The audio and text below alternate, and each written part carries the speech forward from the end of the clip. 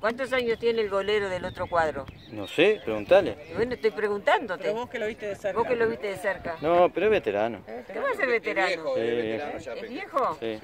Bueno, Peque, Le falta un poco de gordura entonces. un análisis del primer tiempo. Bueno, pero ¿Eh? metan los goles adentro o no afuera. ¿Cómo? Metan los goles adentro o no afuera, que los tiraron y eh, no le invocaron a ninguno. Está bien. Cómo está. Ah.